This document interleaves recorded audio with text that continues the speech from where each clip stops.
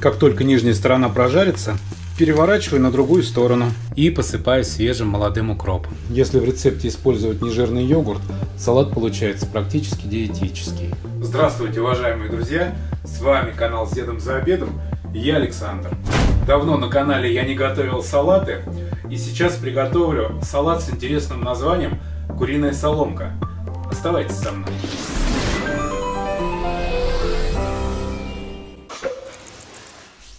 Для приготовления этого блюда мне необходимо куриная грудка, свежий огурец, лук репчатый, яйца, укроп, майонез или йогурт, у меня йогурт, соль, черный перец по вкусу. Для маринада вода, соль, сахарный песок и винный уксус. Первое, что я сделаю, подготовлю лук к маринованию. Порежу его на четверть кольца.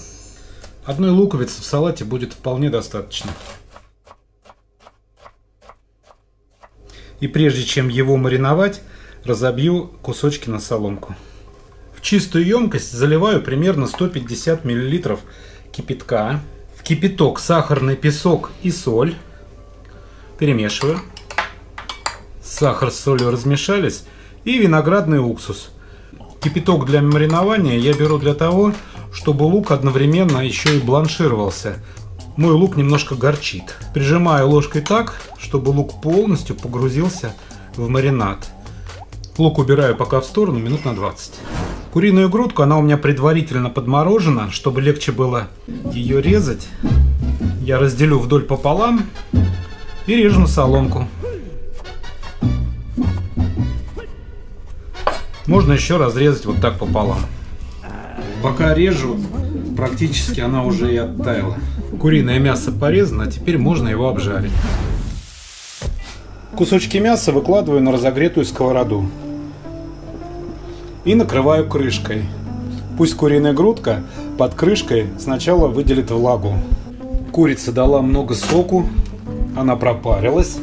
На данном этапе ее самое время подсолить. Добавить черного перца, перемешать сделать нагрев посильнее, до среднего, и обжарить до золотистой корочки, добавив немного растительного масла. До этого момента масло в сковороду я не лил. На куриной соломке появился легкий румянец. Думаю, что жарить ее достаточно, иначе она совсем засохнет. Теперь ей необходимо остыть. Далее яйца. Я стараюсь их колоть по одному, чтобы не испортить все остальные каким-то испорченным яйцом. Считаю, что это правильно, но иногда, как и многие, делать это просто забываю. Добавляю в них треть чайной ложки соли и хорошо перемешиваю. Достаточно, перехожу к обжарке яичных блинчиков. Блинную сковороду смазываю растительным маслом. Равномерно выливаю яйцо. Как только нижняя сторона прожарится, переворачиваю на другую сторону. У меня получилось три больших яичных блина. Яйцо остыло до комнатной температуры, и его необходимо порезать на соломку. Яичная соломка готова. Огурец также режу на соломку. Ингредиенты салата подготовлены, осталось их только собрать. С лука сливаю маринад. Он больше мне не нужен. Пусть маринад немного стечет. Выкладываю огурцы. За огурцами мясо. Лук. И яйцо. Салат необходимо перемешать.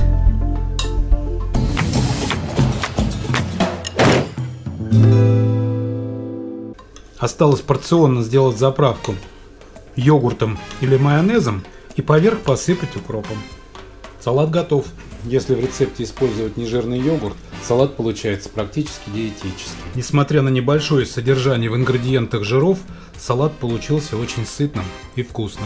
Приятного аппетита! Спасибо, что были со мной. Если рецепт вам понравился, ставьте лайки, подписывайтесь на канал и не забудьте включать колокольчик, чтобы не пропустить новые интересные видео. Желаю вам отличного настроения, берегите себя.